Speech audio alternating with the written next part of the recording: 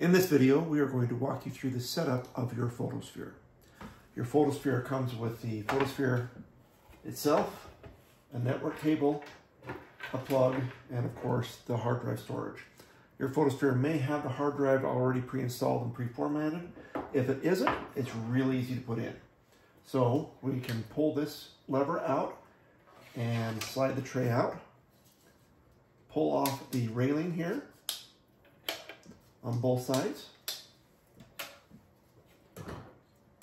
Place the hard drive in there and then you can line up the holes with the um, holes for the hard drive.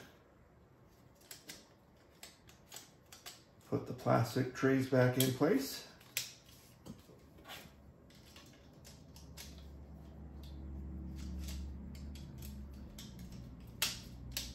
And then slide it into your photosphere push it in and close that door and you're set to go.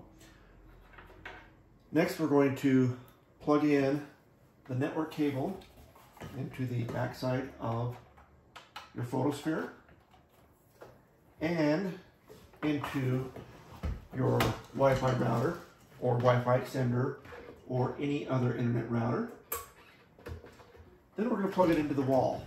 So plug the power into your photosphere and then plug it into a wall outlet. And that's it. We're ready to go. We're ready to connect to the phone app. So next you're going to make sure your phone app is downloaded and ready to go. Now that you've connected your photosphere into the internet and into power, it's time to connect your phone.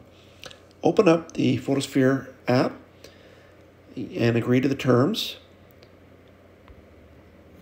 Enter in your email address for the primary account. Agree to the terms of service and obtain an email verification code. Now, the email verification code is a one time code and it's already here. So let's go ahead and type in that code. Now we're going to tap on add. Well, first we're going to uh, allow it to uh, connect to the clipboard. Tap on add, and then we're going to tap start searching. We have to allow it to connect to devices on our network, and it automatically finds your photosphere connected to your network already. So tap on OK. And that's it. You're connected. So here we're going to allow permissions for the camera and allow full access to your photos and videos. Um, here's a message that says that it supports searching for albums quickly. You can uh, tap on that to dismiss it. And then the first thing we're going to do is choose our backup settings. Tap the edit button and then tap enable automatic backups. And this is going to ask to access your contacts. If you are backing up your contacts, you definitely need to click OK. If you don't need to back up your backups, you don't need to uh, allow that. And that's it. This is going to back up everything that's on your phone already for photos and videos, and anything that you take from now on will be automatically backed up. So we can go back to the home page, and you can see here that it's asking you to invite others to share photos. Don't use this to add more devices that are on your primary account.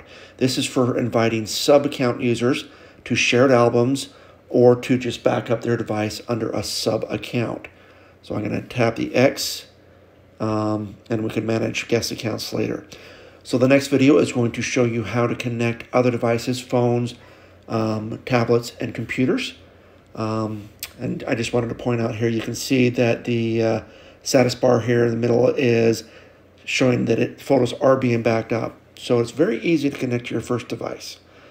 So join me in the next video uh, about connecting your other devices. Thanks for joining me.